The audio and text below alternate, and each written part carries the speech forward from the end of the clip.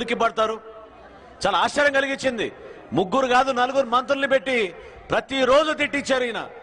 ఏమైపోయింది ఈ రోజు ఆ మంత్రుల పరిస్థితి చెప్పండి. అందులో ఒక మంత్రి నాకు చాలా మంచివి స్నేహితుడు కష్టపడే మనిషి చాలా నిజాయితీగా పనిచేసే మనిషి. అతని కూడా ఈ రోజున మంత్రి పదవిని తొలగించారంటే చాలా బాధ కలిగించింది.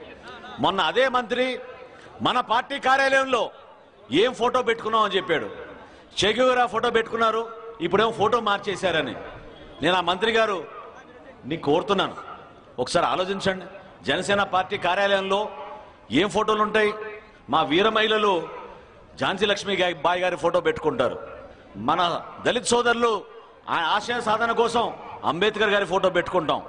భగత్ సింగ్ గారి ఫోటో పెట్టుకుంటాం. మహాత్మా గాంధీ గారి ఫోటో పెట్టుకుంటాం.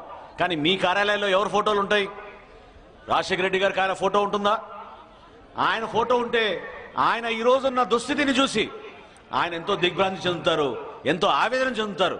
ఎందుకంటే నేను కూడా రాజశేఖర రెడ్డి గారితో పాటు పనిచేశాను ఆరు సంవత్సరాలు. ఏ విధంగా రాష్ట్రాన్ని ఆయన పరిపాలించారు ఏ విధంగా ప్రజలకి ఉపయోగపడే విధంగా మహిళలకు ఉపయోగపడే విధంగా రైతాంగానికి ఉపయోగపడే విధంగా ఆయన తీసుకున్న నిర్ణయాలు ఏంటి? కరెంటు గురించి రాజశేఖర రెడ్డి గారు చేసిన పోరాటం మీ అందరికీ గుర్తే ఉండుంటుంది. ఏమైపోయింది ఈ రోజున? మీకు కరెంట్ వస్తుందా చెప్పండి పది గంటలు? ఎన్ని గంటలు పవర్ కట్ చేస్తున్నారు ఈ రోజున మన ఇళ్ళలో? పన్నెండు గంటలు పద్నాలుగు గంటలు. పది గంటలు కరెంటు కట్ చేస్తున్నారు. దేని వలన? ఈ ముఖ్యమంత్రి వలన. అందుకే నేను ఇందాక అన్నాను వజీరే ఆలం అని అనుకుని చాలా పెద్ద బిరుదు వచ్చింది అనుకుని ఈయన మభ్యపో మభ్య పెట్టుకుంటున్నాడు సొంతాన్న కానీ ఈరోజు సమస్యలన్నీ కూడా సృష్టించేది ఈ ముఖ్యమంత్రి. ఎప్పుడు లేని విధంగా మన రాష్ట్రంలో సమస్యలు వస్తున్నాయి.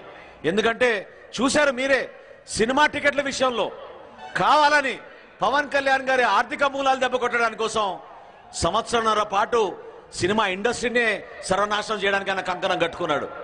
ఈరోజు ఏమైంది? పవన్ కళ్యాణ్ గారు సంపాదిస్తే ఎవరికి ఇస్తున్నారు ఆయన? మీలాగా మీ కుటుంబం కోసం ఇస్తున్నారా? లేదా ఎక్కడో తీసుకెళ్ళిన సంపదంతా దాచుకుని మీకేమైనా సిమెంట్ ఫ్యాక్టరీలు పెట్టుకున్నట్టు పవన్ కళ్యాణ్ గారికి ఏమైనా సిమెంట్ ఫ్యాక్టరీలు ఉన్నాయో చెప్పండి? వచ్చిన డబ్బు మొన్న రైతుల ఆత్మహత్యల కోసం ఎవరైతే పాపం ధైర్యం లేక సమాజం ఆదుకోపోక ప్రభుత్వం నుంచి